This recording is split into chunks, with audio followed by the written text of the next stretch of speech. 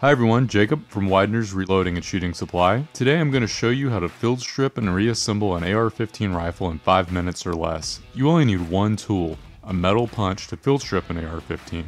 Or, if you're in the field and don't have access to tools, you can use the tip of a 223 Remington bullet to get the job done. First, eject your magazine. Pull back on the charging handle and visually inspect your weapon to ensure that it is unloaded and safe to disassemble. Make sure to keep your fingers away from the trigger while you complete this important safety step.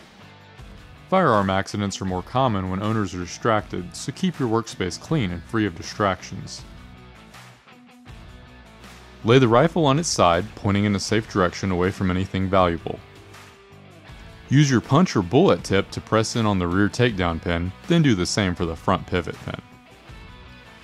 Next, turn your rifle over and pull up on both pins until the rifle upper is detached from the lower. Turn your rifle upper 45 degrees upward and slowly pull the charging handle back until it stops. Remove the bolt carrier assembly and charging handle from the upper and set the upper off to the side. The bolt carrier assembly consists of five main parts, the firing pin retaining pin, the firing pin, the bolt cam pin, the bolt, and the bolt carrier. Locate the firing pin retaining pin on the right hand side of the bolt carrier. Use your punch to pull straight back to remove the firing pin retaining pin from the bolt carrier. Push forward on the bolt and use your fingers to remove the firing pin by pulling it forward.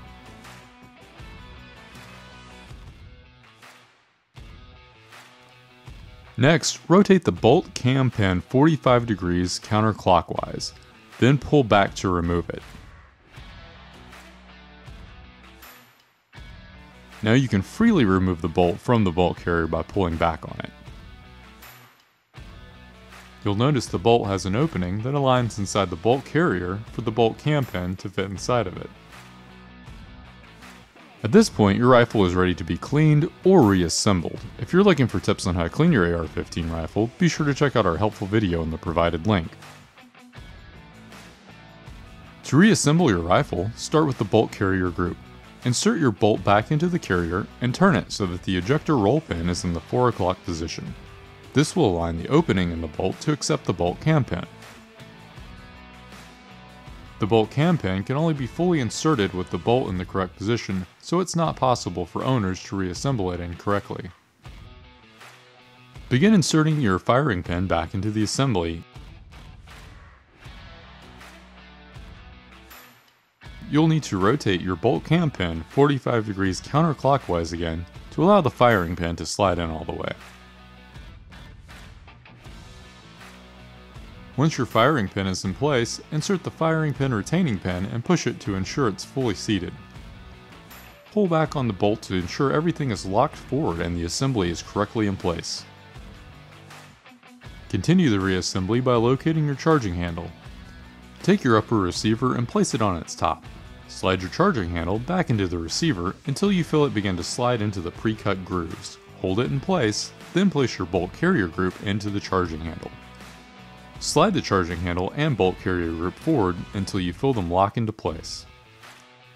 Locate the front pivot pin and rear takedown pin on your lower. Turn your rifle upper so that the top is facing you and realign your lower receiver with your rifle upper. Push the front pivot pin and rear takedown pin in until they lock in place. Inspect your pins to make sure they are flush with your lower receiver. That's it, you're ready to go. You've successfully field stripped and reassembled your AR-15 rifle. If you're ready for a reload, be sure to check out the great prices on ammo and accessories at Wideners.com. Thanks for watching.